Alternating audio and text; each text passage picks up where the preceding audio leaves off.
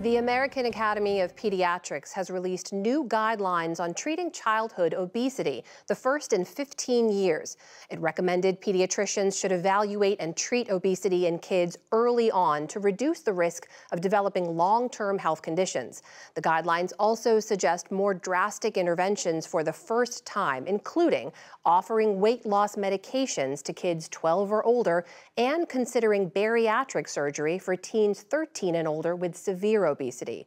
For a closer look at these recommendations and the implications, I'm joined by one of the authors, Dr. Sandra Hassink. She's the director of the AAP's Institute for Healthy Childhood Weight and the former president of the American Academy of Pediatrics. Dr. Hassink, welcome, and thank you for joining us. I just want to set out with a definition here for folks at home. When we talk about obesity, we're not talking about weight or size. For children in particular, it's measured as a percentile within their age and sex, and a child with a BMI in that 95th percentile or higher is considered obese. Do I have that correct?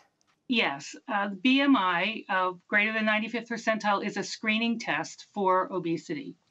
Um, I think it's important to point out at this point that it's a screening test, and when you have that BMI, that triggers further evaluation of the child. So let, us talk about these new guidelines now. Just give me a broad overview here. Why are these new guidelines necessary right now? We're at a point in time where we have a lot of new and encouraging evidence that uh, intense health and behavioral lifestyle treatment is effective, it works.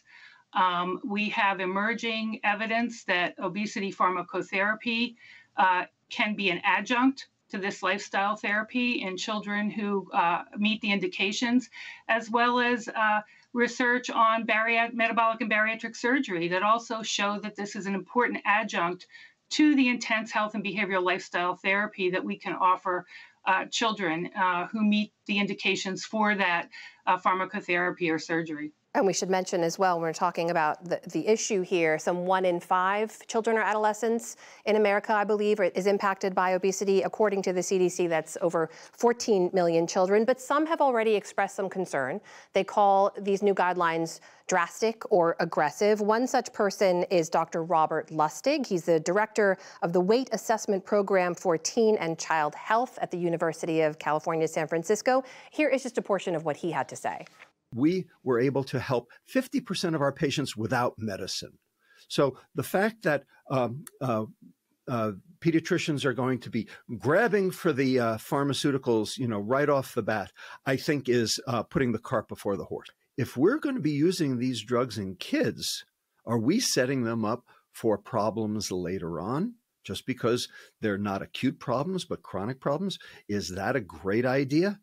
Dr. Hassink, specifically when it comes to the use of pharmacotherapy, as you mentioned, or medication, what would you say to Dr. Lustig, who has these concerns? Well, I think it's important here to take a step back and realize that the core foundational part of obesity treatment is this intense health and lifestyle behavioral therapy, which uh, helps helps a large majority of children. And there is no current evidence that drugs alone are effective. So, whenever you're thinking about obesity pharmacotherapy, it's always in the context of uh, using also intense health, health and lifestyle behavioral therapy. So, this is in context. And these therapies, the pharmacology, pharmacological therapy, is really for children who are at at uh, meet the indications, which really are for children who have severe obesity or comorbidities who need help as an adjunct to the lifestyle therapy. See, so we're not we're not saying jump to the drugs. We're saying you use the lifestyle therapy, and if you have children who need this, it's an important adjunct. There's also the very real issue of uh, weight bias and stigma in particular. Uh, we did speak with two eating disorder specialists, Shira Rosenbluth and Dr. Kim Dennis, both of whom said that putting this kind of emphasis on weight loss so early in life can have lasting impacts for years to come. Here's what they had to say.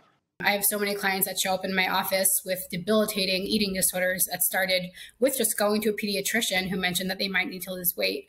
And so then they end up in my office honestly often close to death um, because of these recommendations. I've had lots of patients, former patients, reach out to me saying, you know, like, here's a picture of me as a kid. You know, I was a little chubby, but I was put on a diet at the age of eight, and that like messed me up for the next 30 years. Dr. Hassink, even the AAP guidelines from 2016 discouraged parents and family and pediatricians from talking specifically about weight and weight loss with children because of potential long-term impacts. So why the change? This is exactly why we wrote the guidelines. These guidelines take a whole child approach. We are concerned with the, the, the whole, evaluating the whole child. This is about health. This is about obesity comorbidities. We have many, many uh, areas in these guidelines that help pediatricians uh, have a dialogue with uh, parents and families about overall health. Uh, the use of motivational interviewing, uh, is very important here.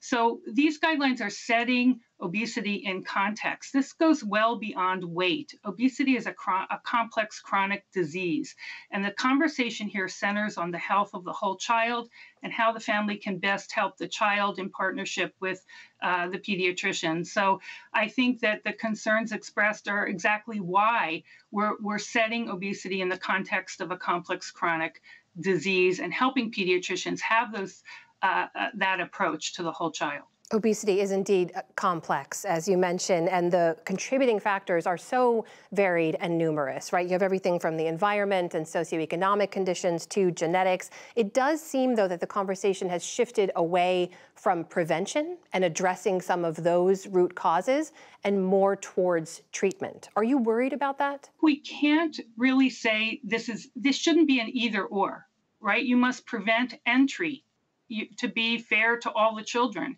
We need obesity prevention. We certainly want to work as hard as we can at that. But for the children who need treatment for this complex chronic disease, we need treatment. And I think it's hard because uh, prevention and treatment shouldn't be set opposite each other. We need to do both of them. That is Dr. Sandra Hassink, the director of the AAP's Institute for Healthy Childhood Weight. Thank you for joining us. Thank you very much.